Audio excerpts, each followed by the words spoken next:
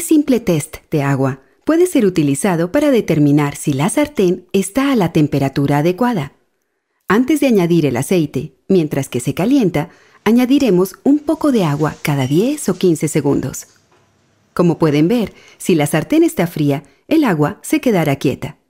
Pero al calentarse, el agua empezará a evaporarse y eventualmente burbujeará. Al aumentar la temperatura, llegará al punto en el que el agua se evaporará inmediatamente al tocar la sartén.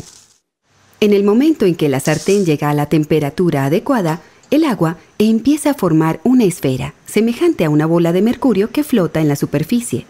Si todavía hay muchas gotas pequeñas, limpie la sartén, espere unos segundos y trate otra vez.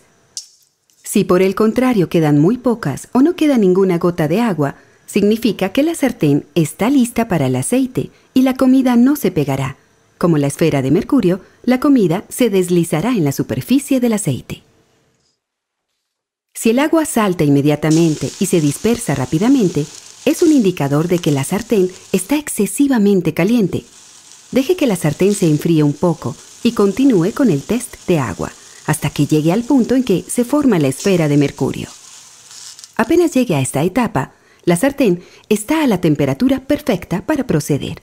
Pero tenga cuidado, porque la sartén se calentará rápidamente, así que es esencial que esté listo con el aceite y los ingredientes.